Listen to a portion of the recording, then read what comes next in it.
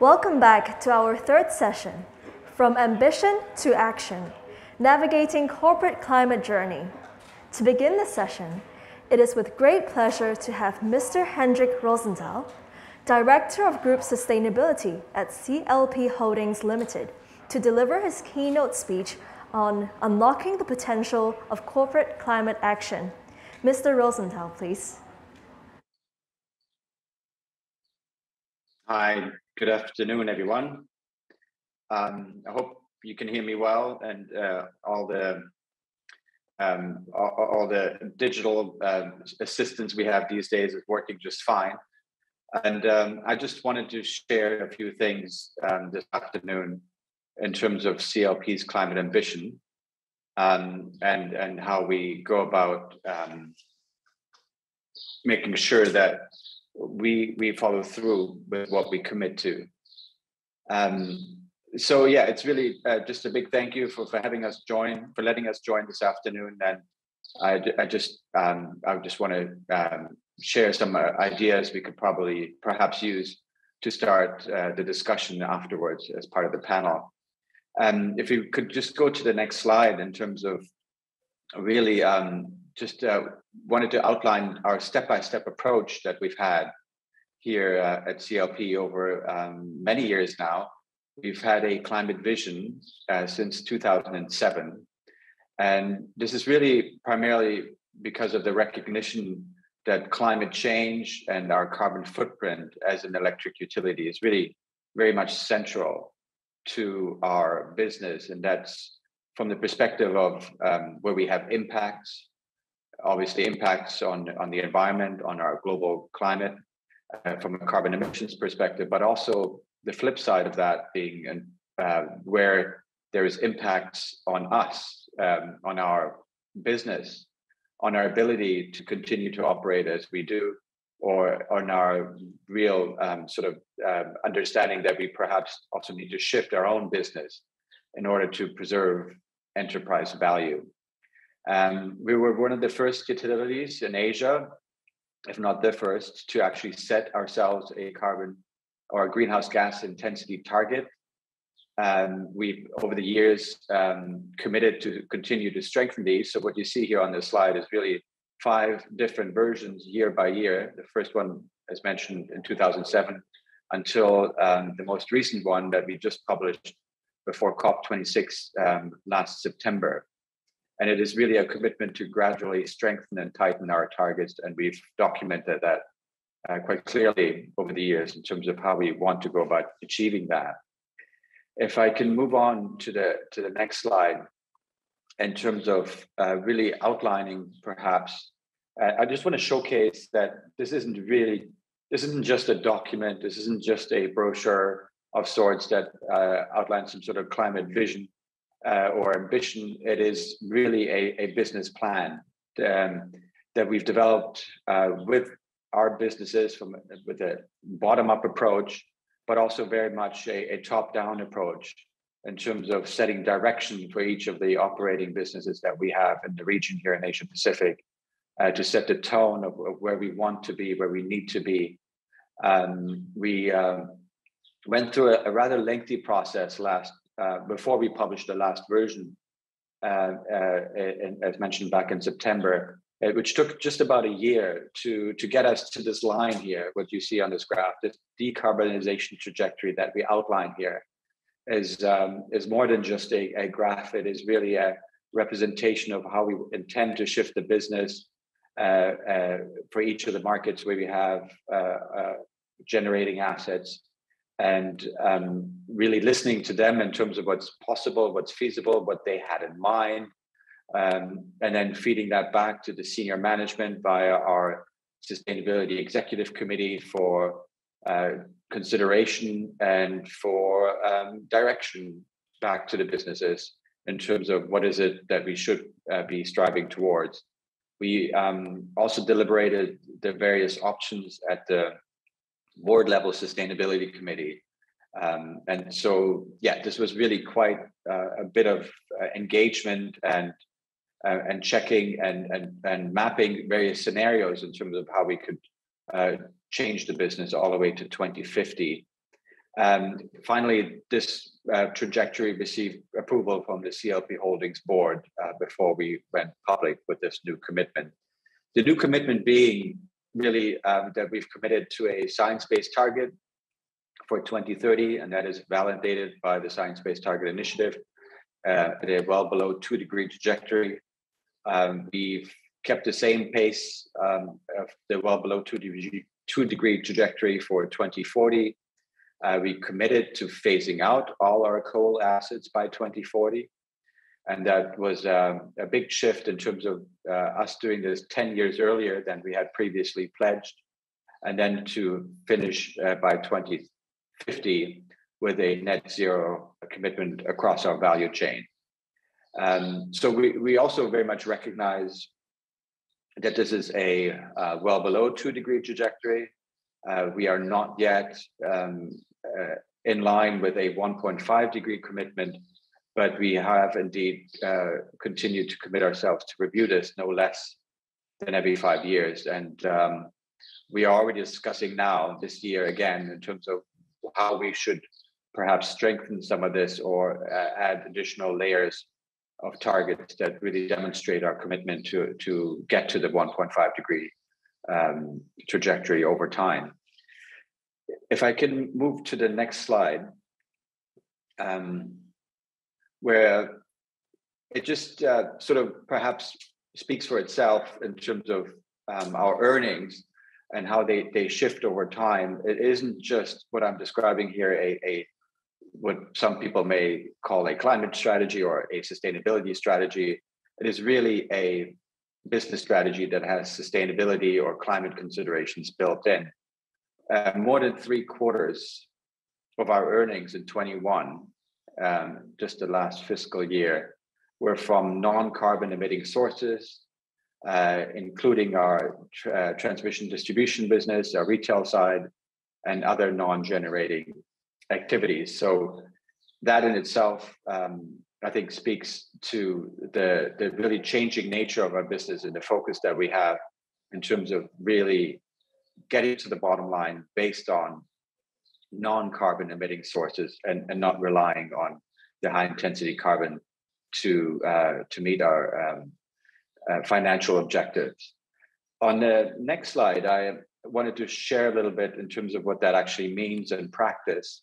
And uh, if you were in the auditorium or tuned in a little bit earlier, you saw a number of different videos from uh, the sponsors for this event, including uh, our CLP video, which actually described uh, and, and, showed in, in, a few more details these different projects that we have on the go uh, on the go here in Hong Kong. But primarily, our objective is really about phasing out coal from our power generation in the short to medium term.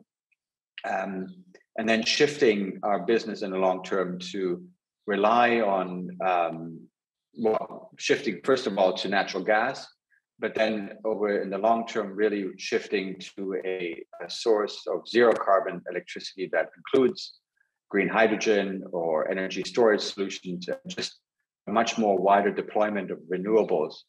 And what you see here uh, on these pictures is our, our new uh, gas unit, um, D1, at Black Point, and there's a second one being constructed at the moment. We are building infrastructure to receive natural gas uh, from the global markets. Um, we have made investments to utilize landfill gas here in Hong Kong to generate electricity, and we are making headway with um, deploying an offshore wind farm um, here in Hong Kong waters, and all that's part and parcel of uh, the overall strategy.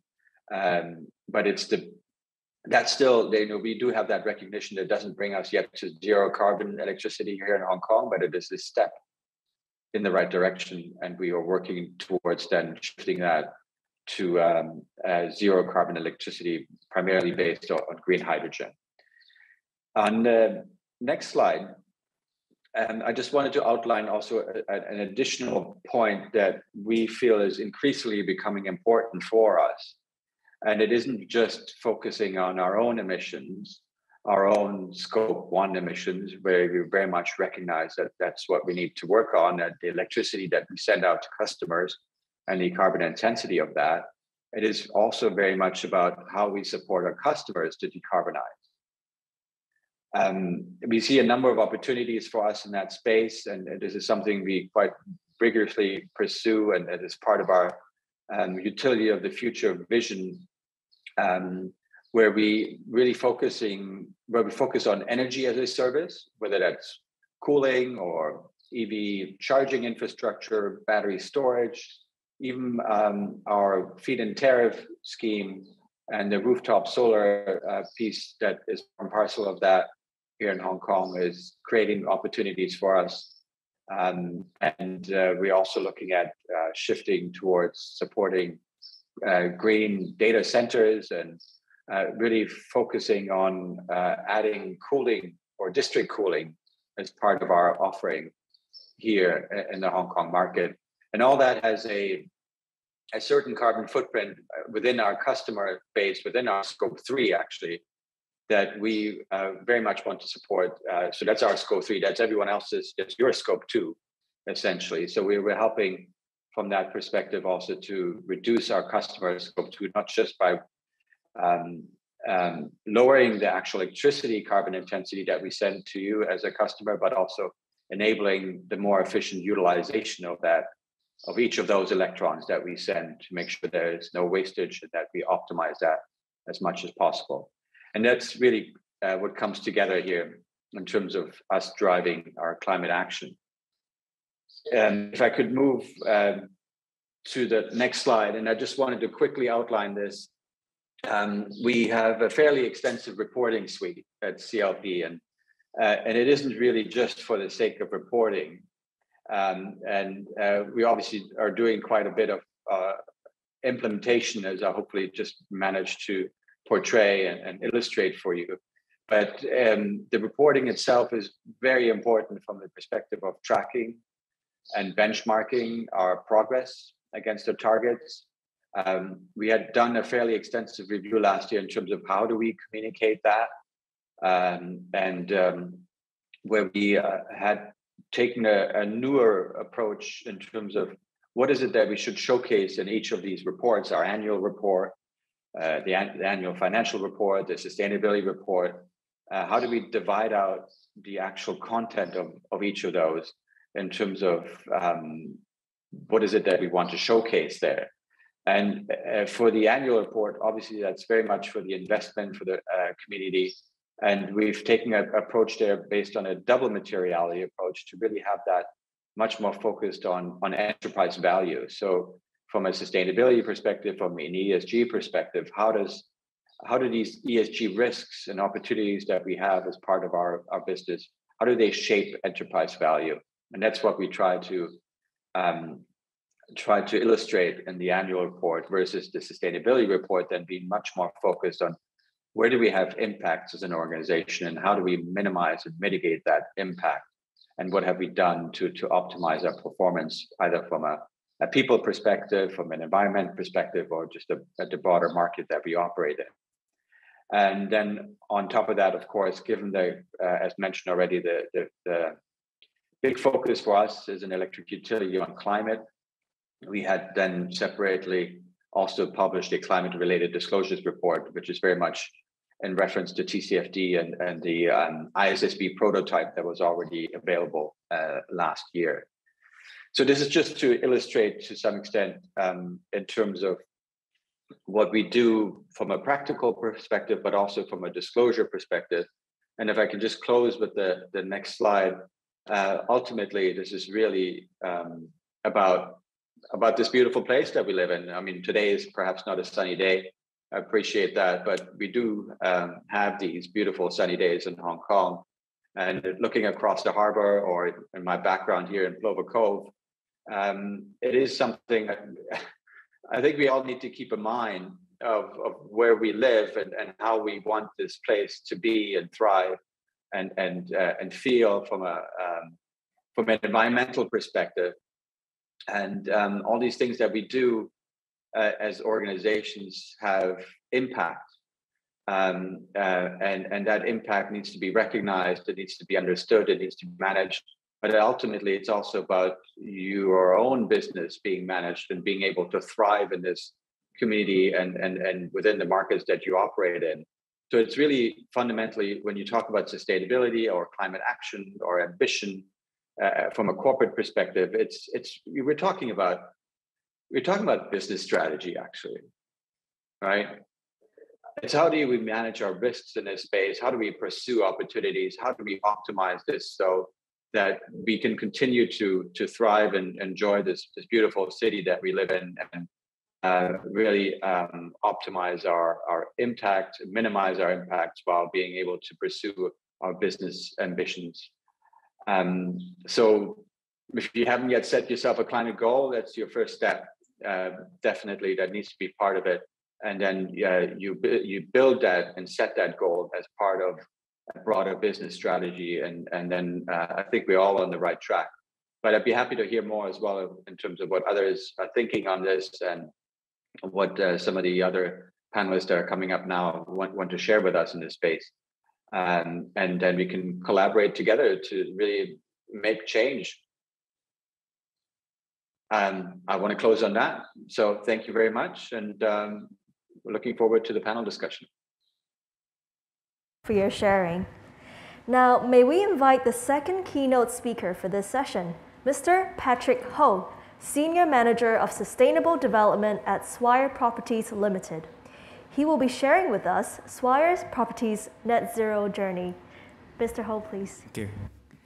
Uh, thank you, BEC, for the invitation. And uh, very nice to see you all in, in person today after so long. And also wel uh, welcome to the online audience as well. Um, I'm Patrick, and I'm going to share this topic from ambition to action. Um, indeed, you know, Swire Properties have come a very long way from setting um, our targets, you know, having actions to meet these targets. And indeed, these components are all very important, and they reinforce each other. So I hope my sharing will be useful to you, no matter what uh, sort of journey are you in in your low carbon journey. So a bit of introduction. Swire Properties is a uh, developer, owner, and operator of a mixed-use kind of you know uh, retail, office, hotel, residential properties. And our major footprints Hong Kong, Chinese mainland, Miami, USA, and also Southeast Asian countries. Uh, we are celebrating a 50 years of anniversary this year, um, and you know, quite recently we have in, uh, announced a you know major investment, 100 billion uh, investments, uh, new investment plan to expand our portfolio in Hong Kong, China, and Southeast Asia, and you know, so our core business, you know, is to um, uh, developing and managing uh, green and sustainable buildings and communities. And uh, as of you know last year, 100% um, of our major uh, new developments are all um, certified green buildings, and up to uh, last year, 96%, almost 100% of our all existing buildings are, are, basically certified green buildings. But of course, it is not enough. We have to do a lot more to, for the net zero ambition. Um, getting back to the topic, you know, we're talking about actions, right? So uh, my colleagues have very kindly helped me to, you know, map out some of the initiative um, actions under, you know, so-called a corporate climate action cycle. And there are four components in this cycle. There are four iterative components. First of all, the governance and strategy. And uh, I will talk about this later, about our um, ESG or Sustainable Development Strategy, or Sustainable Development SD, right, SD 2030. And under that, we have developed a climate uh, policy within which there are three components, mitigation, adaptation, resilience. So targets, we have broadly followed uh, the Science-Based Target Initiative to actually uh, our decarbonization, decarbonization journey, you know, aligned with climate science at the scale and speed that's needed. And taking actions is a big component. It's span across a wide range of initiatives. Here you can see from green building development, we, we, we're setting this target against you know, local system like Green Building Council's BEAM Plus, internationally LEED um, also, moving from green buildings, of course, we have to optimize and manage the buildings as efficient as possible. So we are doing, you know, living lot sort of technology innovations, retro commissioning works.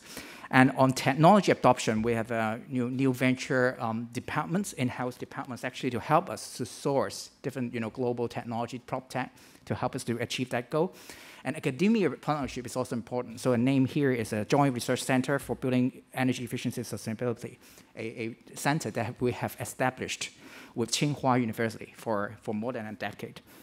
And moving on to disclosure, we have been disclosing, you know, a long list of, uh, like, like CLP Hendrik's, right, or, or, or whole, whole list of uh, disclosure. I think it's very important to get you know what we have been doing with the stakeholders, with investors, communicate properly what we have been doing, and also these indices, particularly like Dow Jones, has helped us to benchmark our performances uh, against our peers, against the industry, so that we can you know uh, conduct continuous improvement.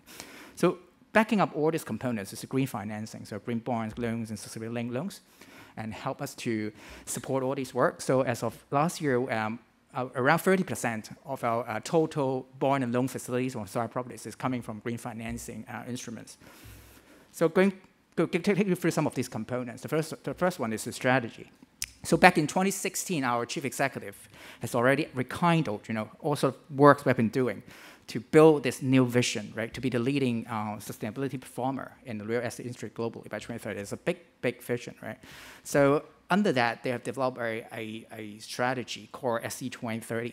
And, and this strategy actually has two purposes. It's to build sustainability capability across the whole firm, every department, every staff. And secondly is to integrate sustainability consideration in you know, every uh, business decisions and business operations. And so under the SD 2030, we have five components, right? The center one is centerpiece places, and we need people as a staff and our partners is very important, and that will help deliver two performance. One is economic performance, and the second one is environmental performance, which is particularly relevant today for the net zero topic. So to build, build on that, I, I think a robust, inclusive um, sustainability governance structure is what's important also to, on the net zero agenda. So uh, leading from the top, from the board of directors, they are having the oversight of all the uh, climate-related issues, and down to the uh, Sustainable Development Steering Committee, which is chaired by our chief executive. And, and they also, you know, uh, regularly, you know, monitor the progress of the whole strategy, including the climate-related KPIs and, and strategies and, and, and the action plans. So, and, the, and the, one of the most important bit would be the five working groups, which compose of over 100 of uh, working group members, colleagues from basically from different departments, and they are really the think tank to help us drive these actions, drive this initiative to to bring about results, to think about innovations, to think about you know what's what's missing, what we have to do more. So I think these are very important um, working group members. And for whole you know normal employee level, 100% of our office staff basically have to align the appraisal and the goal setting with the, with the SD strategy. So this is quite amazing. So uh, since 2016, we have already made some progress. At 2020, the year 2020, we achieved you know more than 80 uh, KPIs we have set ourselves, and we have it didn't stop there. We have established a uh, 40 plus new KPIs for the next decade. So uh, going to the target setting, I'm going to talk about the um, science-based target. This is, I think, it is a game-changing um, target setting component that we have under the strategy. It's the uh, 1.5 aligned science-based target. So our, our science-based target history actually dates back to 2019, where we was the first developer to actually have a validated and approved uh, two, two degree aligned science-based target. Um, and later, you know, last year, we ramped it up to 1.5 degree um, aligned science-based target also got approved.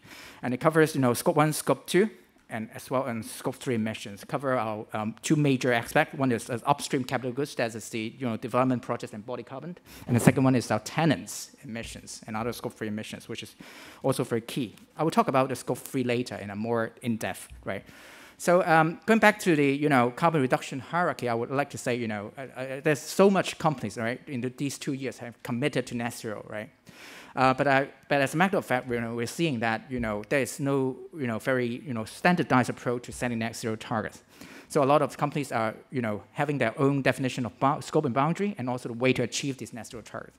So we will see there's a lot of skepticism, indeed, about the credibility and also the uh, scientific integrity of these zero targets to meet these targets. So um, in particular, one concern is the you know, excessive use of carbon offsets basically to meet the target, you know, without spending a lot of efforts on carbon reduction in the first place. So Swire Properties is well aware of this um, difficulty and risk. So this carbon reduction hierarchy help us to, you know, you know, stay more focused on, you know, reduction first as a priority. So we do start out with uh, low hanging fruit like equipment replacement, the old chillers, change to new, uh, new, more efficient chillers, for example, and then moving up to some, doing some, you know, building-based optimization process like retro commissioning, um, monitoring say commissioning works. And on tenant side, we'll do a lot of program software and hardware to help them to reduce their carbon emission. And then moving up to digitization, you know, this morning has talked a lot about this area. So we have been using this cloud-based management platform to help us to connect all the global portfolio, to help us do the optimization and AI and digital monitoring. So moving up is the uh, more you know, adoption of emerging cutting edge technologies. A case in point is that this is a, a new pilot at, and, and uh, uh, Taikoo Li Sanlitun and at Beijing portfolio as a direct current uh, microgrid solutions where we adopt a lot of battery system, uh, solar PV system connected with a direct grid current, which we are able to, you know, enhance the energy distribution that, uh, efficiency by 10%.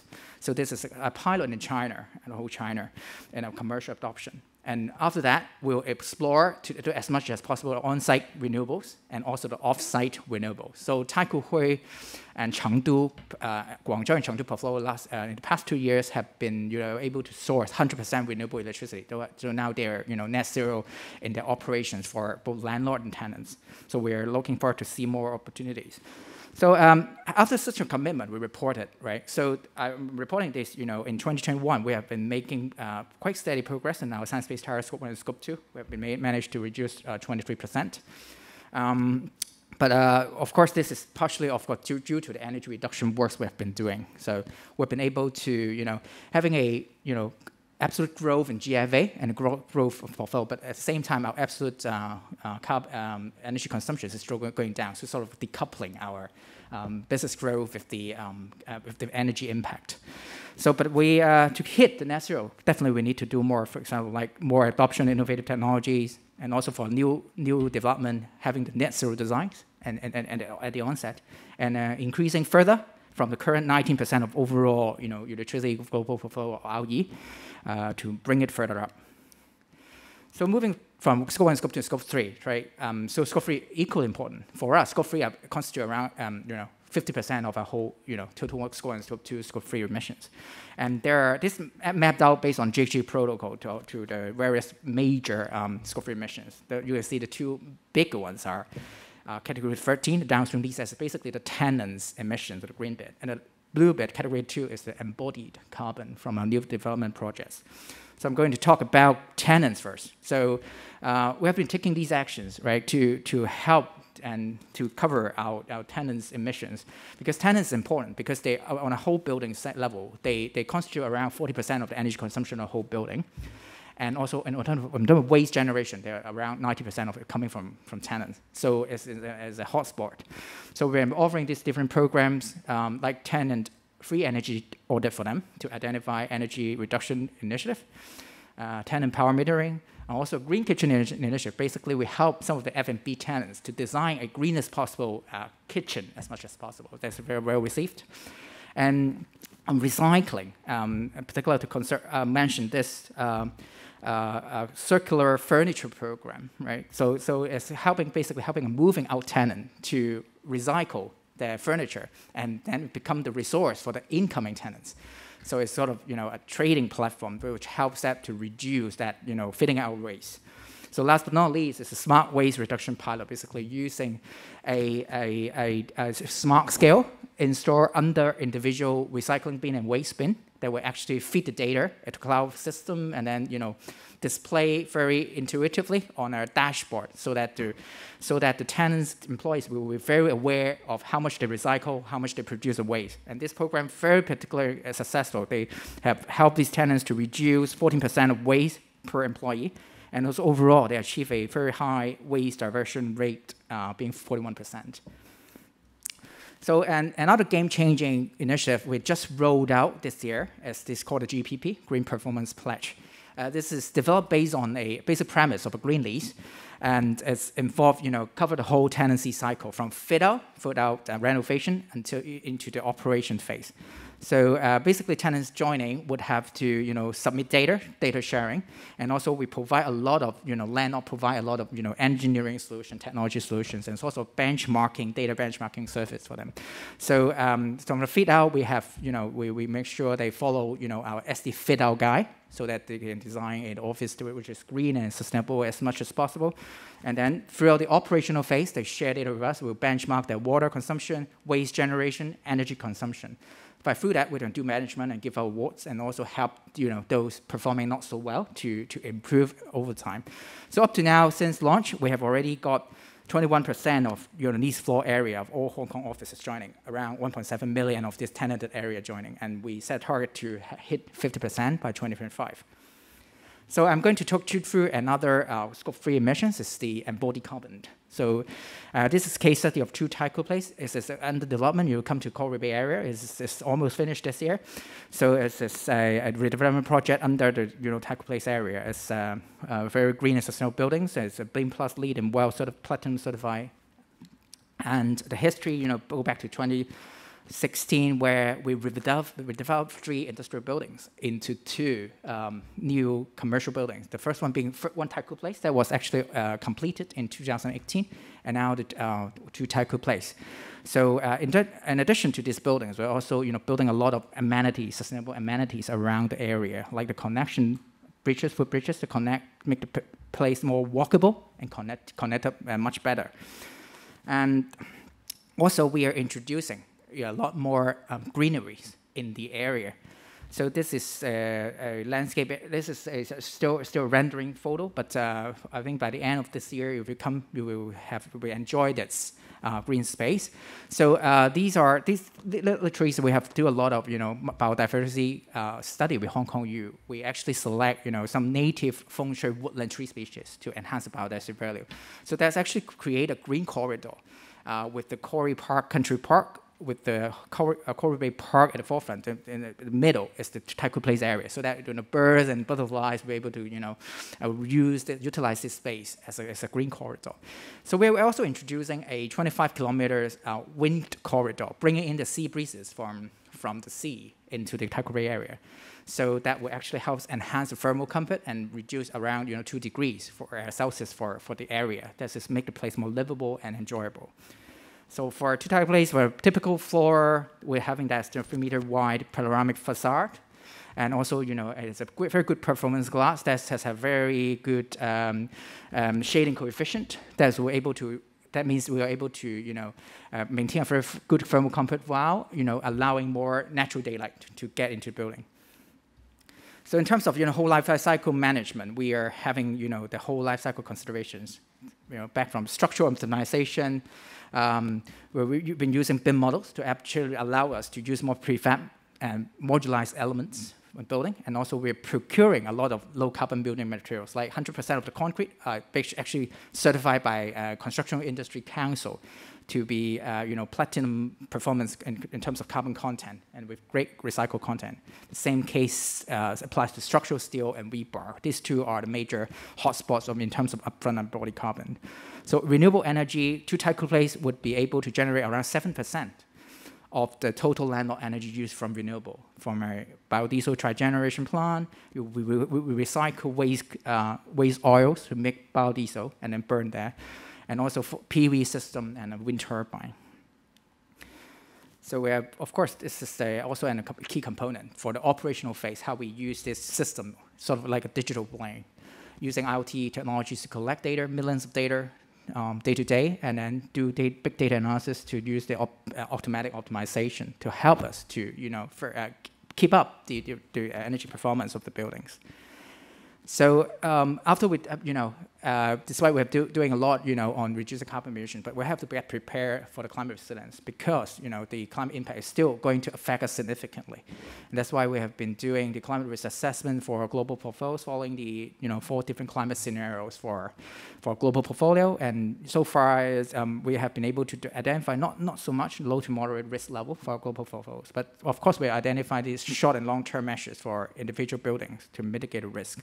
Just share one example to, to close up up um, is in the Miami portfolio. Miami City, if you've been there, you know that place is you know very famous, vulnerable to uh, flooding, tropical tropical uh, cyclone, you know, and uh, sort of things. So very famous. So uh, Swire Properties have been working through a you know public-private partnership with the government um, to actually propose a solution to to enhance the sea level resilience. You can see on the top left um, with a photo with the sea seawall, seven meter sea seawall. This is the original sea seawall proposed by the U.S. Army Corporation of Engineers. So Swire Properties thinks that you know this is not so good. All right, so we, kind of propose a nature-based solutions. You know, basically making up of wetland, uh, oyster reef, and some planters to act as a natural barrier to dissipate wave energy in case there's a flooding event.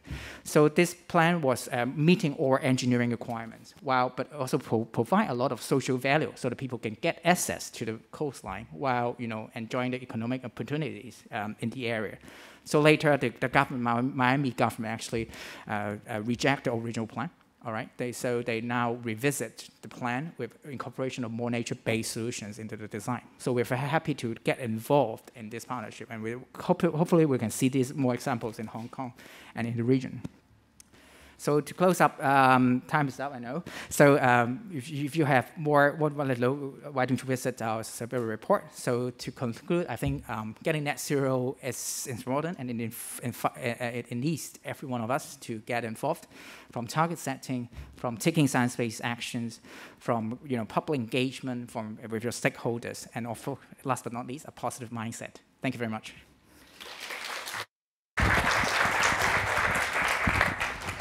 Thank you, Mr. Ho, for sharing the many and interesting initiatives at Swire Properties. Now we can start our panel discussion.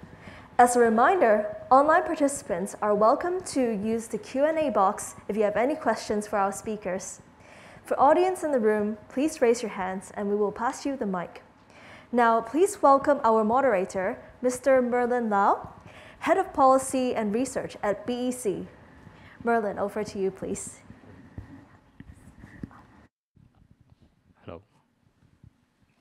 Can I be heard? Yeah. Uh, actually, we, we have three more seats. Uh, we, we have three more panelists to join us. Uh, we have Carol Chan from Lee Kee, uh, and then we have uh, Aline from Modern Terminals, and then we have Feng Yuan from H&M. Please. Uh, before I start, I just want to make sure, uh, Hendrik, are you, are you with us? Yes, right. I here, I, I, I, I, see, you push the button. Okay. Um, yeah. Go. Hello, everyone. Uh, I'm Merlin. Um, to actually uh, set the scene further, I, I, I want to add a few words here. So uh, I think we have a good uh, lineup of panelists actually representing uh, various sectors. We have power sector, we have property um, development, and then we have a metallic uh, raw material industry, uh, cargo terminal, and also faction.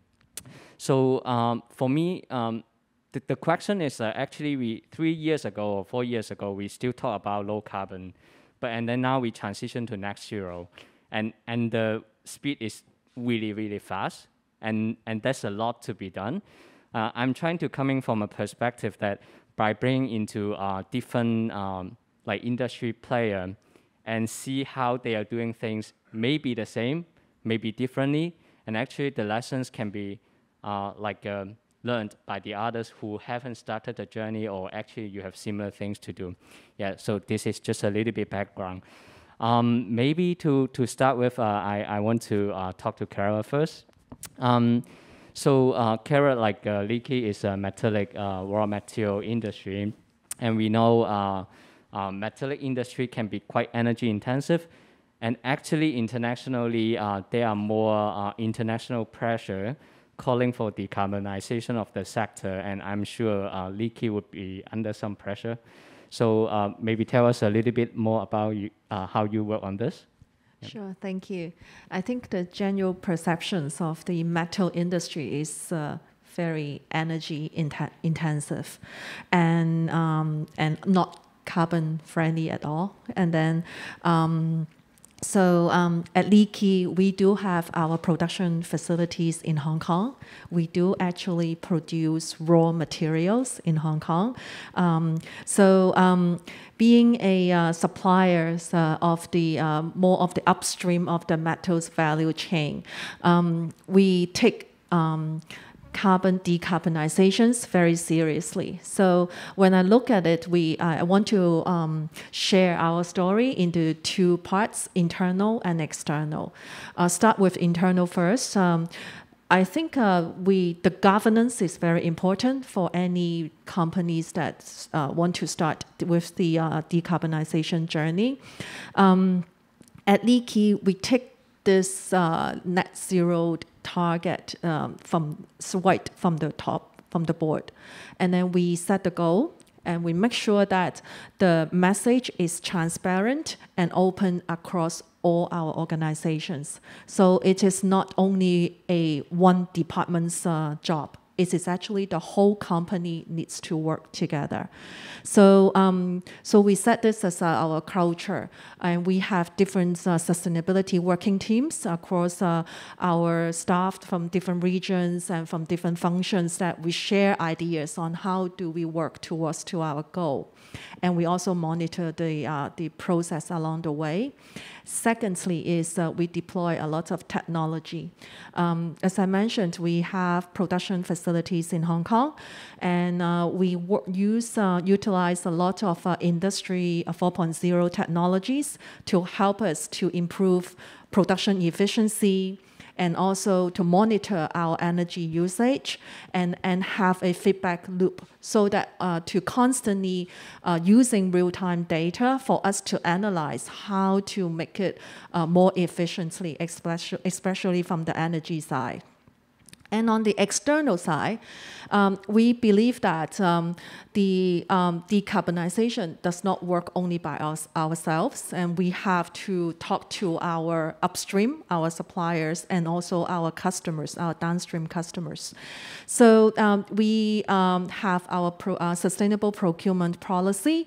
We work with international smelters and miners, making sure that the materials that they deliver to us or the production process also complied with the uh, with our policy and also the um, environmental um, standard. And, uh, and then we talk to our uh, customers, and we actually, for every production batch that we produce in Hong Kong, we disclose our carbon intensity data making sure that our customers, who are mostly SMEs, uh, the manufacturers of many uh, consumable products, that they can use this data for their own productions. So I think the data transparency for the whole, um, for the along the value chain is also very important, so that the whole industries can work together. And lastly is uh, we want to bring industry awareness. Um, we uh, do a lot of uh, sh uh, sharings and also seminars with our customers and also along our value chain so that the, the, the, the carbon net zero uh, target can be achieved not only for one uh, sector in the value chains but for the whole um, the value chain. Yep, thank you. Thank you, thank you, Kara. Um, maybe now I can turn to Eileen. Uh, actually, we, we know uh, modern terminals, you, you have set a um, 2030 uh, like operation uh, GHG emission elimination target. So maybe you can tell us uh, quite a bit uh, of what you have been doing. And maybe one more thing is we are not just talking about 2030, we are talking about until 2050 and beyond the current plan to operational emission and, and how are you going to prepare you for 2050? Thank you. Yeah. Uh, thank you, Manny. Um, before I answer your questions, I just want to introduce our company briefly so as to set the context.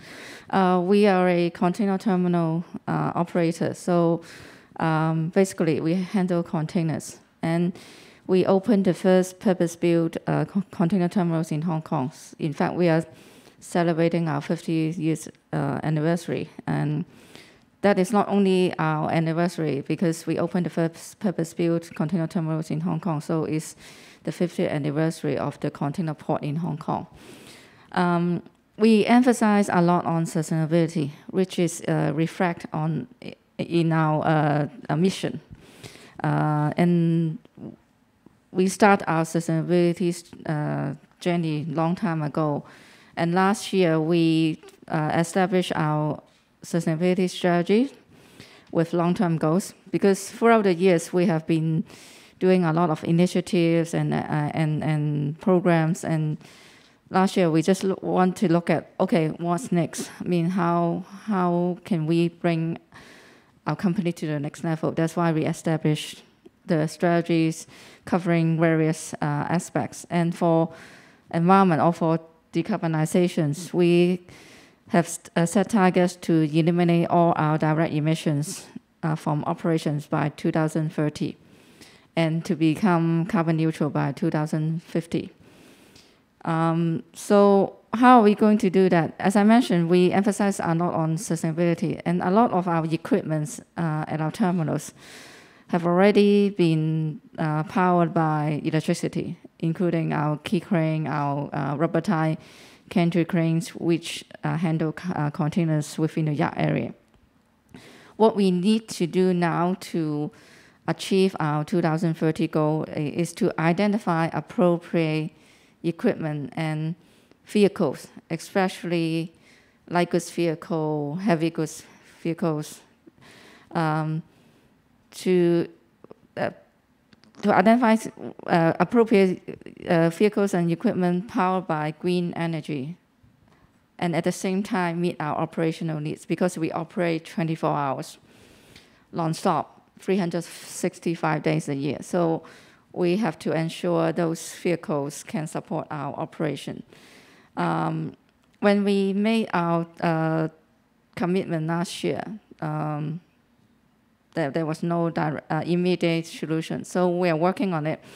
And um, uh, in fact, we will soon uh, announce that. I mean, we, we, we, we are taking delivery of two uh, electric goods vehicles and two electric forklift for our trial. And Besides that, uh, we also looking at renewable energy. We finished uh, the first phase of our solar panel system installation last year. Uh, and so far, we estimate that every year we can reduce, we, we can produce uh, about 140,000 uh, kilowatt hours of electricity, and we have more phase to come.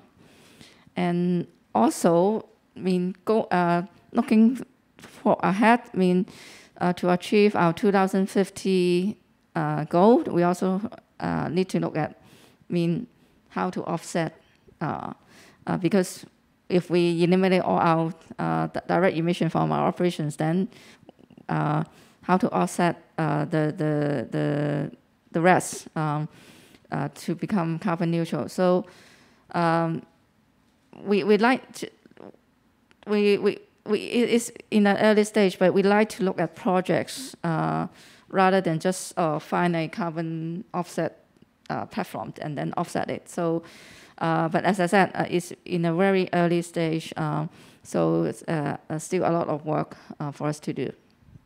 Thank you. Yeah, definitely. We we talk about reduction, not offset at the moment. Um, so yeah, and I, I think the challenge for you really lies on technology, which is uh, what we discussed in, in section two this morning as well. Uh, I, I will pass the floor to Feng Yuan uh, from H&M. So we know, like everyone knows, H&M has global production lines, and, and are two aspects. You have this uh, target across the whole value chain. So how do you ensure this value chain, like your partners are aligned with your goal? And at the same time, you, you have multi-country like office teams, and internally, how do you also align this? So it's more like internal and also on your like value chain. How, how do you work on that? Yeah. Thank you, uh, Merlin. Um, so basically, at H&M, we have communicated our long-term climate goals with all our business partners and, and suppliers uh, that we want to reach net zero across our value chain by 2040. Uh, we know it needs to happen at a pace of halving our emission every decade. And you know, most of the emissions reductions uh, that is needed uh, will come from phasing out of fossil fuels within our supply chain. Um, currently, coal is the largest um, contributor to our greenhouse gas emissions. Um, you know, so we have seen suppliers, you know, using uh, coal to produce electricity and, and then produce steams and hot waters. You know, that's, you know, how this coal become a bigger share of emission. Um, you know, and, and we see that, you know, we, uh, we, we need to find a way uh, to uh, phase out. And internally, we have set a, a ambition uh, or aim to phase out our on-site coal uh, uh, in, in facilities that produce our product uh, by 2025. And we have been asking suppliers to start considering you know, doing the same. um, we have take, uh, you know, we took the first step uh, this year, and so basically, we call it stop the bleeding. Uh, you know, starting January uh, 2022, we have stopped onboarding any new supplier or production facilities that have coal boilers on site.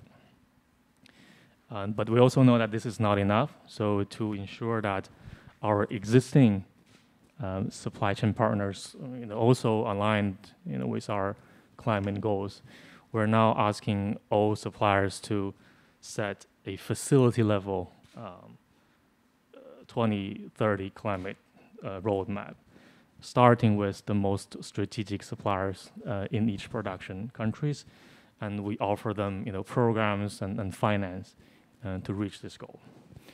Uh, that's you know how we communicate and align our goals externally with our supplier partners, and internally we have also been aligning our you know group production climate roadmaps in basically for the supply chain organization, you know, with our premium brands and, and assortment uh, teams and functions. And of course, you know, brand and assortment, they can have their own uh, climate strategy and, and areas of focus in their strategy. You know, for example, whether they want to focus more on energy efficiency or renewable energy or have uh, kind of a priority market. Um, but at the end of the day, um, they all hold accountable for achieving and contributing to the group climate goals. And we are introducing a internal carbon pricing model uh, to change the internal behavior. And uh, for example, you know, by putting a price on, on carbon, uh, we are trying to steer, you know, more business toward, you know, renewable and sustainable sourced materials and also, you know, greener supply chain uh, partners. I think that's how we kind of align this goal internally. Thank you. Uh, now we went through one round. Uh, I have some questions on, on the IPAC, but uh, I, I actually would like to ask a question to, to all the panelists. Uh, just now we talked about different pledges. You're asking your upstream, downstream to do things. Um, but very importantly, how, how you make sure your pledges and actions and outcomes are aligned like what is the sort of like governing or actually monitoring mechanism in, in your corporate? What happened if non-compliance? Just now we talk about we, we think things will be compliant, but actually in reality it may not be compliant. So so uh, it's quite open the floor and, and we open to the panelists to answer, but I want to particularly ask Hendrik first because uh, the energy intensity of CLP, if it's not meeting the target, then it means everyone else here is not meeting the target. so, so uh, Hendrik. Uh, thanks, Merlin. Yeah, um, fair point. I, I, appreciate that, but I think compliance is not the right word. Um, I think what we're looking at, and I, that's what the point I was trying to make earlier, is really about meeting your business strategy objectives and and not just taking the CLP context, but just more broadly, you set yourselves climate targets, and, and these are not just out of thin air. These are targets that reflect your ambitions, but also your they need to be grounded in reality, right? They need to be grounded on, on, on what you can what you think you can do as an organization and what systems you put in place, what technology you intend to deploy, what areas of your business you would like to see grow. And you know, we all make business plans. They get updated regularly. Every company has a business plan. Sometimes it doesn't work the way you intended it to work, right? I mean, eh, there's other externalities that impact your, your business. And if you look at the, the environment that we currently operate in, there's certainly a lot of challenges um, supply chain being one of them, energy costs being another, for instance. Um, so it, it is really fundamentally about putting systems in place annually to track your progress, to keep your target in mind, and to make sure that you can continually review and shift your strategy in order to uh, to meet those targets. And and for us, we you know it's a it's a it's a two step process. One is the external tracking and performance uh, measurement and and what we disclose uh, to the market. And one is uh, an internal process we have in place to make sure that uh, the various business units actually follow through with the various commitments we have in terms of phasing out certain assets by a certain date, investing in more renewables by a certain time frame and a certain quantity, or even um, building uh, new business opportunities in terms of energy services and uh, our progress in that regard. So, so that's, that's, that's something that happens at a very granular level internally as part of our annual business uh, planning process. And at the same time, we then report back to the market on an annual basis of where we've made progress and where we haven't yet made progress and where we intend to do more. Um, so yeah, it's not compliance. It's it's really tracking your your, your business plan and your business strategy. Uh, that's that's how I would uh, frame that. Um, and yeah, hopefully that answers yeah. the question. Yeah, thank you for correcting me. Uh, anyone else want to respond to this uh, about this monitoring? Yeah, yeah, yeah Patrick.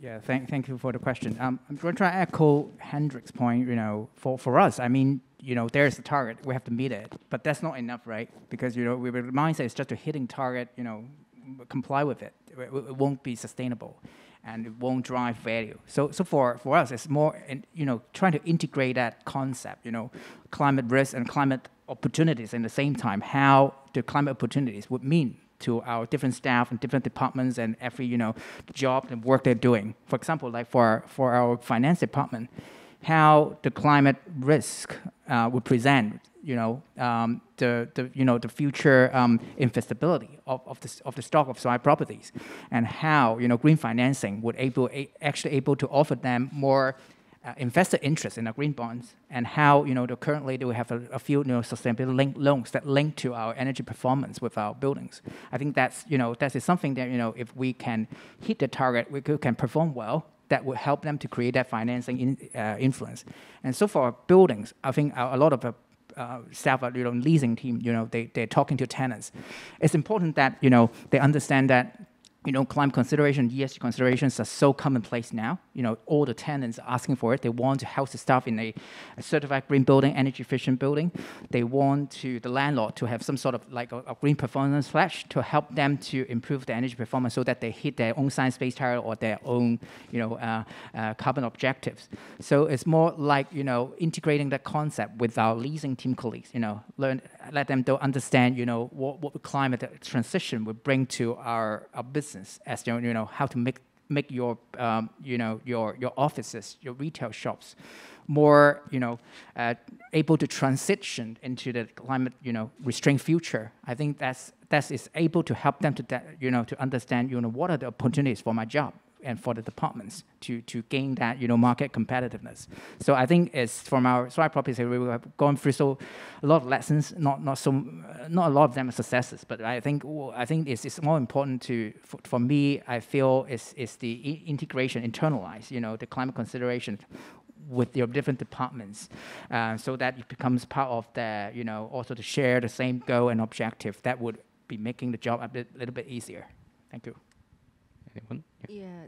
Um, we have a similar experience too. From a point of view, it's like like the two panelists have shared. It's the business strategies and risk management. It's not something that the companies can choose whether you like to do it or not. Or not. It's actually you have to do it. But once you set the target and then uh, make sure it's transparent, it's uh, throughout the whole companies understands the target, and then uh, constantly review, monitor, and then env- business environment uh, environment changes and there are challenges as well. And sometimes we need to go back and then um, set the goals uh, to be more realistic and then and then just try to improve and working towards it. I think this is this is the way that how we work as well. Oh, sure. Yeah. Um, at uh, modern terminals, um, we think that mean uh, engaging everyone is very important because we it's our people who help us to achieve what we want to achieve. And, and also, uh, immediately after we establish our sustainability strategies, we have uh, developed a detailed work plan mean, covering every aspect of sustainability, not only environment. And for each initiative, uh, the work plan is covered last year and this year. And for each, uh, each initiative, uh, there's a, um, a, responsible owner and also manager. And then uh, we, depending on the scale and, and the nature of the initiatives, mean uh, it's related to uh, part of our business plan, uh, KPIs, or functional initiatives, which are related to our bonuses.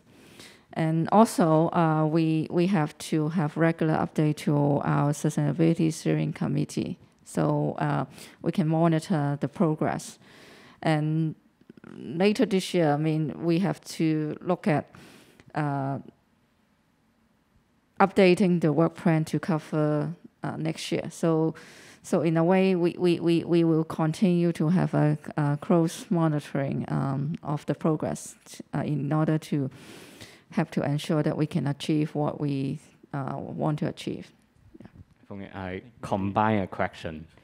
Uh, actually, I, I think it's really relevant because you mentioned about internal carbon pricing. Is that also one of the mechanisms that, that you safeguard the process? Maybe you can combine the answer if you can. Sure, I think that's that definitely one one of the, the, the, tools that we're using to um, you know to uh, reach our target. Uh, I think um, at H&M basically we um, we don't own any production facility, and over 70% of our emission is actually coming from our supply chain. So, so you know, in order to, to make sure that you know we can work with support our suppliers to, to reach the goal, you know, in turn uh, they help us reach our goal, our scope three emission target, and uh, we have been you know working on two things. So one is to make technical resources available, and one uh, second one is to make financial resources available to support our suppliers. So for example, we have identified some of the, uh, the most important levers for emissions reduction uh, in our supply chain. Uh, you know, one of them is energy efficiency improvement. Uh, so over the past two years, we have been building an in-house energy expert team. So now we have at least one energy efficiency expert expert in uh, the top six production markets. Um, so they are the ones who are on the ground, you know, driving our energy efficiency project in factories and provide the technical support um, to our suppliers. And, and, and, and right now we are also making a, um, a separate budget available, which is not the sustainability budget, it's a green investment budget. You know, through our green investment budget, you know, we are now financing uh, innovative technologies like solar thermal, and also you know biomass uh, in production facilities you know to help them transition from from fossil fuels to uh, renewable energy. So I think those are the uh, the things that we see that you know uh, is critical for us to to reach the goal. Okay, thank you. Uh, I I want to jump to the iPad uh, for actually quite specific question to Kara. Um, so we, we talk about metal industry, and actually just now Patrick mentioned the case of embodied carbon. So at Lee Kee Group, like how, how do you see the embodied carbon uh, portfolio? Like how do you going to manage that uh, in, in your work in your future? And uh, actually a follow-up question on that is like, because of this requirement uh, for decarbonization, how do you see the pricing and the market uh, in terms of your production in Hong Kong? Yeah. Um, there's a lot of uh, talk, especially in metal industries, uh, because as the raw material suppliers, we also we always hear a lot of uh, the comments from our customers that they are buyer ultimate customers looking for uh, recycled materials and that will reduce carbon and, and, and all that. But but um, it's for us uh, because uh, we have the expertise in these areas. we we we like to clarify that it's actually sometimes some of the products can use recycled materials, but actually some other products, may, recycled ma materials may not be a good choice, but, but in any case that you can choose alternatively, you can choose uh, to have uh, some of the low carbon uh, metals raw materials. And that leads to the, um, uh, the cost issue. And uh, uh, at this the current market, if you if uh, the demand comes from the uh, uh, the low carbon uh, metals products, is actually the the price could be higher uh, than uh, conventional materials because of the um, the setup of the productions and the energy usage and all that. So um, I, I, think eventually, when the demands is getting uh, higher, than uh, the, the cost could be uh, have the possibilities to become lower, but this could be a, a more of the uh, uh, longer term that we need to uh, we need to wait and see. Yeah. Mm-hmm. I'll, I'll, take one more question from the iPad um, from the online audience. So, uh, question to Feng Yuan. Uh, could you share how far H&M goes in terms of supply engagement beyond tier one or tier two suppliers, or how far you really go? I think that's a very good question. I think traceability is always a challenge. Uh, you know, we have over thousand suppliers globally, um, so I would say we are now covering um, all the tier one um, suppliers and, and most of our tier twos in in a third party verified kind of a um, uh, audit uh, scheme uh, through the Higg FEM. You know, so we're collecting data also, you know, through our internal systems and platforms, and which is also third party verified. So I think if, for that, I mean, it's um, been really, really helping us to understand uh, you know, have the primary you know, energy data from our uh, tier one and tier two suppliers, so we can closely monitoring uh, their environment, environmental performance. And of course, in the raw material side is also uh, a large source of our emissions. We have also been in trying to engage with the raw material suppliers at the farm level. But I think in between, um, the spinners and, and weavers, uh, those our tier three and tier fours are kind of been we're, we're less engaged, but we're trying to um, build the full traceability uh, throughout our value chain. And there's there was a uh, target, you know, uh, we can have the full traceability to um, our tier three spinner level by the end of this year. Thank you. Uh, on-site audience, uh, any any questions uh, from anyone? Other, otherwise, I will go back to online. Okay. I yeah. Um, I think this question applies to all panelists. So um, it's asking like, I would like to see how communication is being channeled to actually all working level people uh, when uh, implementing uh, the targets and the corporate strategy in uh, carbon reduction. So I, I think the keyword here is like not people of us like who who already have the awareness, but to the working level people. Um, open open to panelists who who who would like to answer this. Anyone?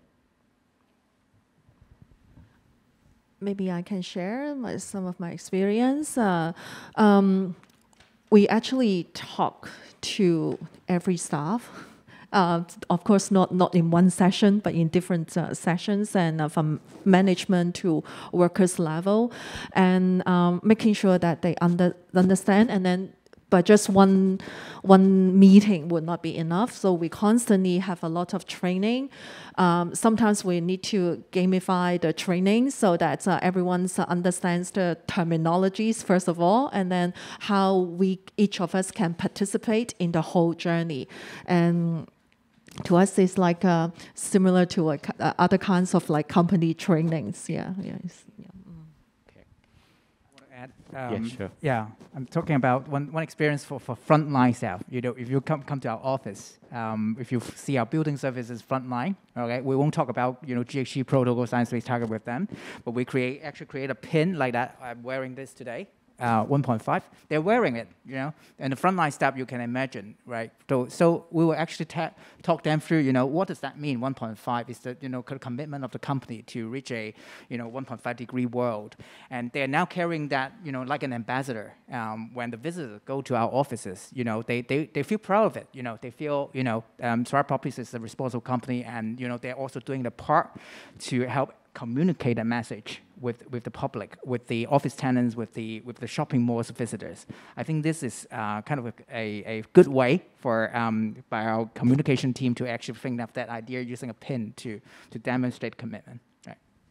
Okay. Um, you want to respond? I just want Yeah. to add that. I mean, um, I think it's important to make the topic uh, as part of the day-to-day um, communications within the company. I mean, not just focus on something or, or uh, within a short period of time. I mean, um, our company focuses a lot on internal communications. We have uh, a lot of channels for communications, uh, including two-way communication. So I think we just need to keep the topic as one of the important topics among the, the discussions. That's important.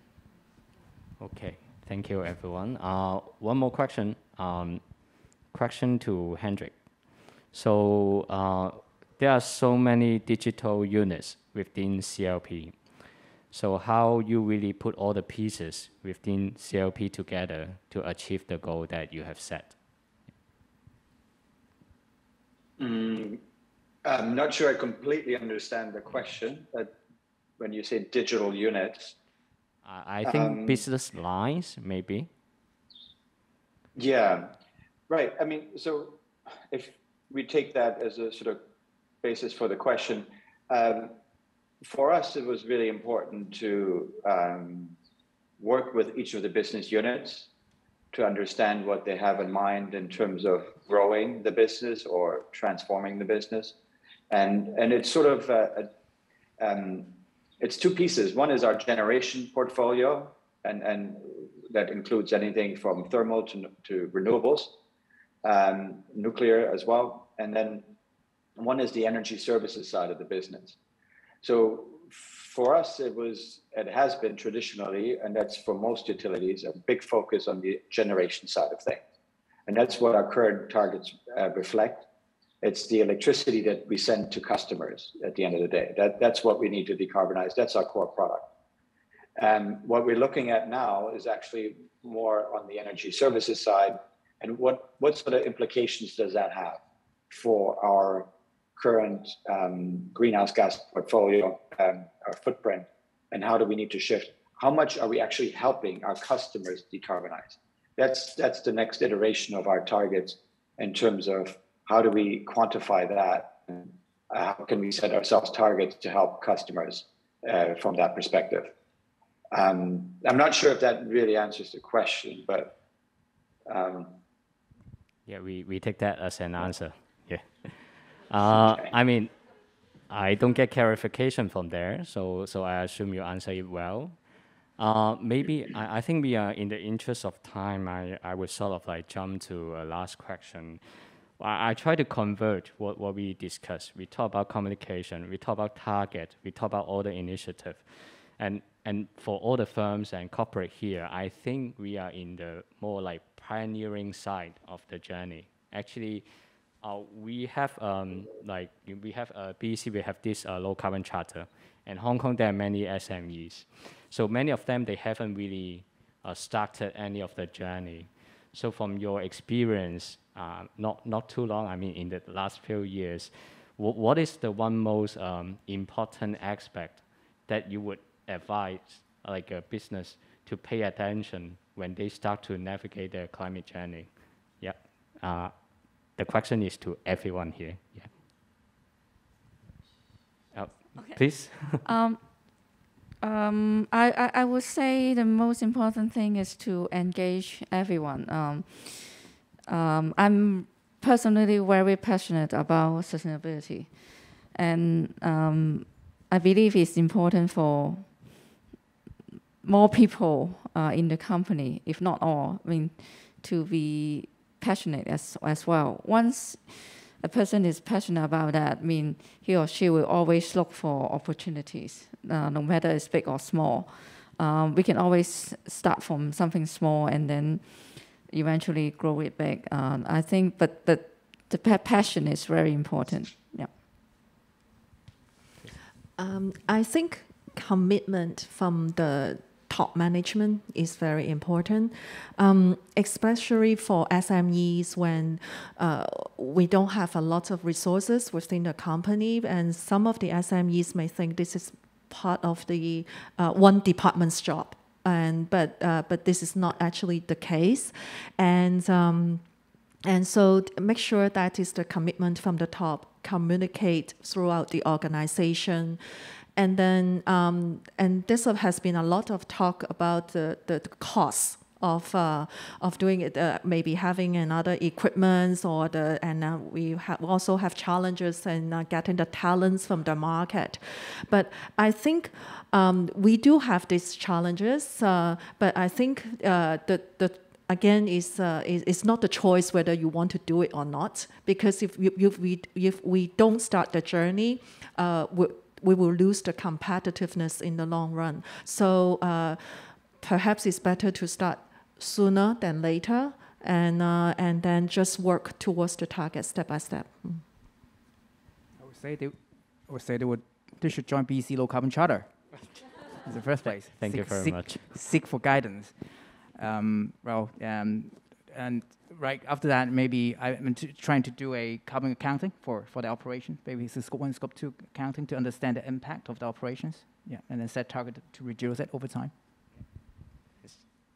Um, I think for us, you know, many of our suppliers are SMEs. Uh, I think for us, it's important that we, we shake hand with our suppliers on our climate and goals and roadmaps. Traditionally, we have been taking a very top-down approach to set target for suppliers. Um, you know, but during the actual implementation uh, phase, you know, you really have to to do it from bottom up, know, together with suppliers and get our hands dirty. And so it's important really to to see where you know, our top-down goals meets the bottom-up, um, you know, action plan, you know, from supplier. And if we see there's a gap, uh, we need to find a way to, to close it, you know, whether it's, uh, we need to bring in, you know, financial solutions or kind of technologies you know, to support them uh, and, and us um, to, to together achieve our goals. Uh, Hendrik, you, you want to add uh, some word? Um, sure. I mean, I think a lot of it has been covered already, but uh, I mean, fundamentally, um, it is about a recognition that this is a, a risk management piece. It is, um, it is to the core of a business. It is about understanding where your carbon footprint is. So the carbon accounting piece is very fundamental. Um, depending on what kind of product you make, what you bring to the market, you really need to get to the bottom of, of where the carbon footprint is, and and through that process, then zoom in. You need to have that willingness to not just communicate around this, but really get to the bottom of the, the problem uh, from a technical perspective. How do you make your product? Where do you have potential to reduce carbon intensity? And do you have alternative raw materials, alternative processes? What are the cost implications of changing? And uh, how does this actually help you to continue to um, run your business, to continue to your uh, meet your commitments for the bottom line, while at the same time actually reducing the carbon intensity and then reducing your carbon or climate risks. So it's that it just needs to have that bigger picture approach. It, it doesn't. That's your starting point. If you if you're starting off with, uh, well, we need to get the um, we need to get our colleagues online and, and we all need to sort of I mean, I'm just going to be cheeky about this. It's not about holding hands and let's all do the right thing. It's about business. It's about um, really getting to the bottom of uh, how do we fix this so that your business has viability in the medium to long term as well, if, if you want to start from a real selfish corporate perspective.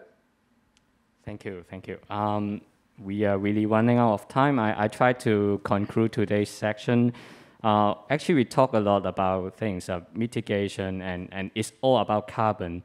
But now it's different from a few years ago. Then it's not just about the carbon. We just now mentioned again business competitiveness and then risk management. Is the big picture is bigger than when conventional environmental people are talking things. So this is uh, somewhere we are going. And uh, taking the science-based target the same. Three years ago, we talked about two degree and then uh, Patrick already mentioned 1.5, and then we go into net zero. So the implication to business sectors are actually really moving really, really fast, and we just need more such kind of conversation going on about how we do things and, and, and let each other learn. So with this, I, I would just uh, want to thank you, uh, our panelists today, and please give them a, a round uh, of applause. Yes. Thank you very much. Thank you again. This marks the end of the third session.